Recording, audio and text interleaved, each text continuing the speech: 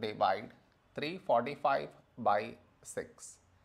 To do this division, we should frame it in this way.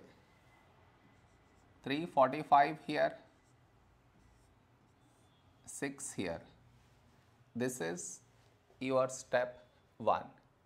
Next, here we have 3, here 6. 3 smaller than 6.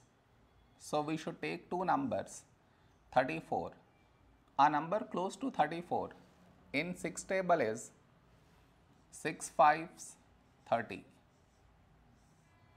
Now we should subtract, we get 4. After this, bring down the beside number. So 5 down, so 45.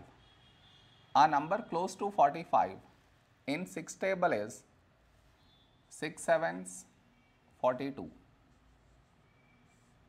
Now we subtract, we get 3. After this, no more numbers to bring it down.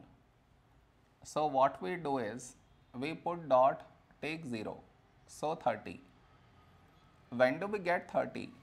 In 6 table, 6 fives 30. Now we subtract, we get 0. Here we got remainder 0. So this is our quotient.